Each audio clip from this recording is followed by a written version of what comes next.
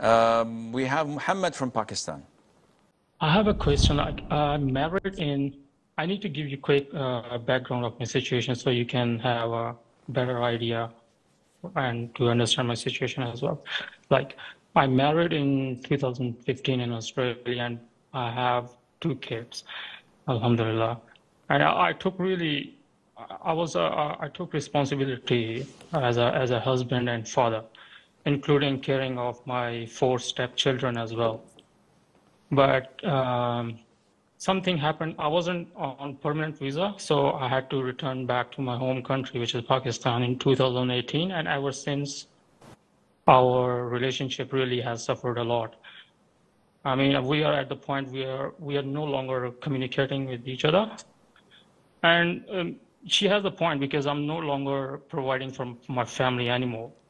Although I'm trying hard, I'm educating myself to up, upskill myself so I can able to earn in dollars, not in my local currency to help my family. But I think it's too late now.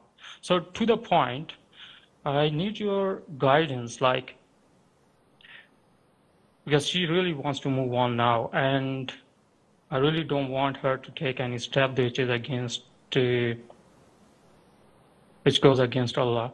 Um, I need your guidance. What type of divorce it will be? Is it is it considered to be khula or me granting her the divorce? And okay, basically speaking, Akhi, due to the fact that you're unable to provide for her and for her children, this is a deficiency in you. And hence, you have to give her divorce if she's asking for it because it's your fault for not providing for her and for her children. She's not obliged to file for khula and give you back the dowry because there's no fault from her side.